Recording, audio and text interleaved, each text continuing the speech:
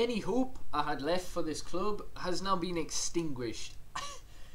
I, I just can't believe it. Like Manchester City must have been planning this for so long, having that letter ready saying Pep Guardiola's going to take over for three years after Pellegrini.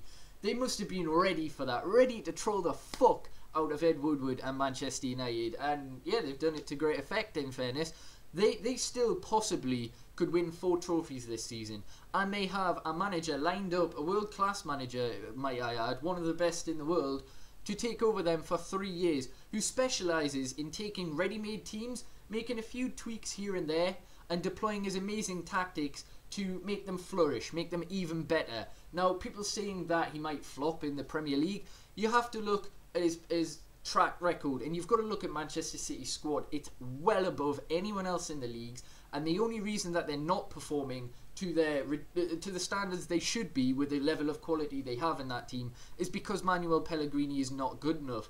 And now that they're going to get Pep Guardiola, big names will come in as well, so they'll have an even better squad with even better chances. Now, the only hope Manchester United have at the minute is hiring Jose Mourinho. There's talk of Diego Simeone, of Conte. I, I don't know how you say his name, but you know who I mean.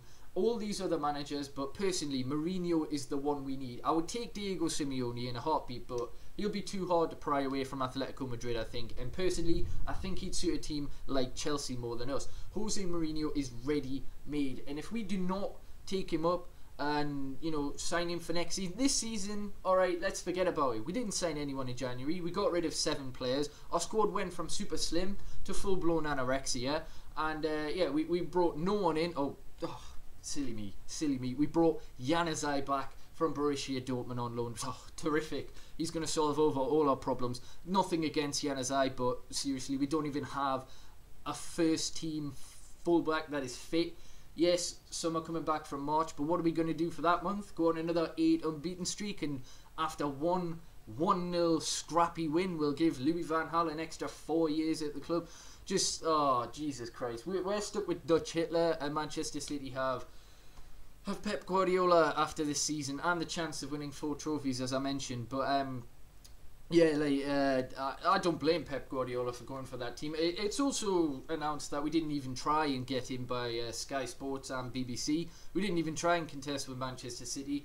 So uh, yeah, there's that to look forward to. Um, well, just knowing that you know our club knows nothing about footballing matters. I did say I wanted Jose Mourinho ahead of Pep Guardiola. I don't change that statement, but I have no faith that our club will get Jose Mourinho. That is the only reason we can still contend with Man- uh, Manchester City now, hiring him. As I said, though, this season is now over because we're not getting top four. We got no signings in January, and we didn't strengthen. We've weakened our side.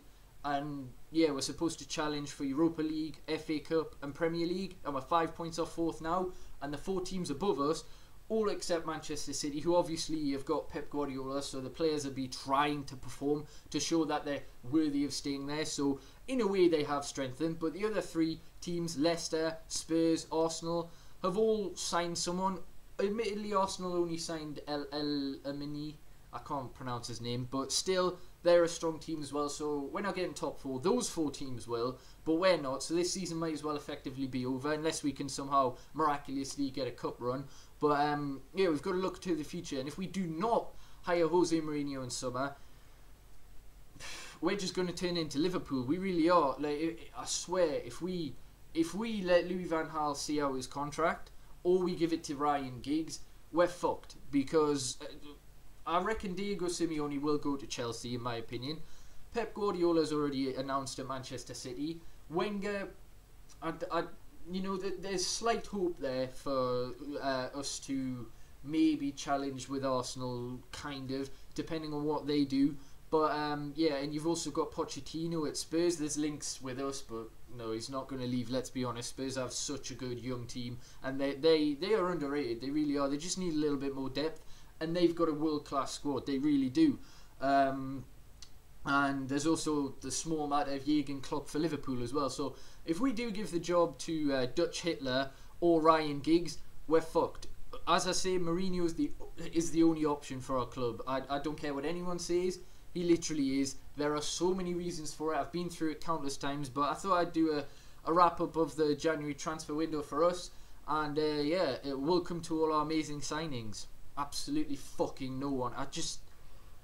Ah, I don't understand. I really don't understand. You look at clubs like Newcastle, who've never shown much ambition in recent years, let's be honest, but you know, when, when they're scared of getting a second relegation, they're, they're like, even Mike Ashley's like, shit, I'm going to have to spend. And what does he do? He gets the two record transfer deals and also tries to break that again by getting Berahino, but West Brom reject that. They've signed uh, a winger, which they desperately needed. They've signed a striker, which they needed. Uh, admittedly, they might not be the greatest players in the world, but they've signed a holding midfielder or someone who can pass the ball in the midfield, which they needed.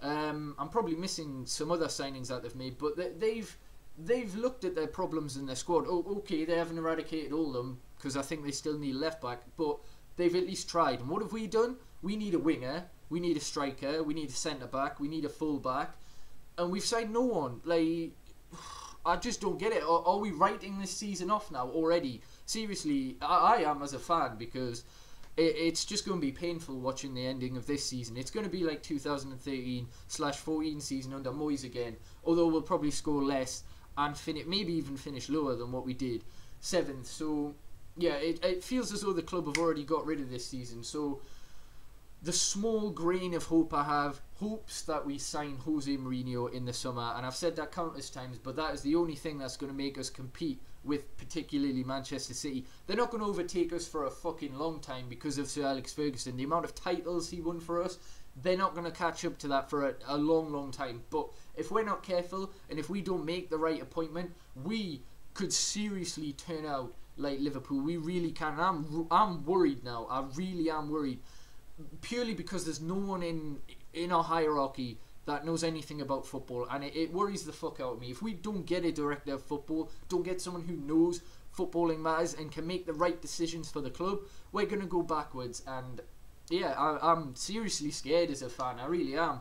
Um, we've proved that we we have no ambition this window, so all we can hope is we get the right man and then maybe a director of football next year and we can contend. Like seriously, that's that's my honest opinion. You I don't know what you're gonna make of this video or whatever, but I'm always honest. I I'm not biased or I try not to be as much as I can, and this is the honest truth.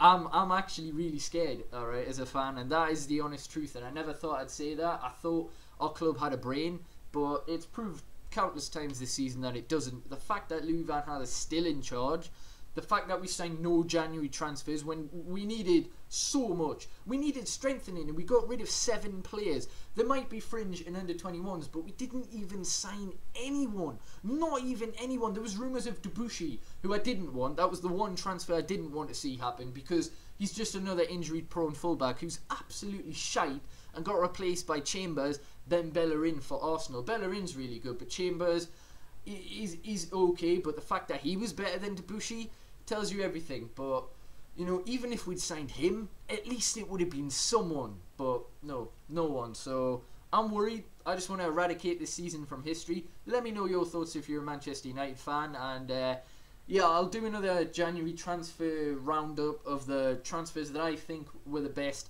tomorrow's video, and then I'll continue with my Football Manager series who performs best, and the uh, the series I've got with uh, Niall Sleepy Beast HD Premier League pick, I think. So hopefully you do enjoy that. But uh, yeah, I'll end this video here. Let me know your thoughts in the comments.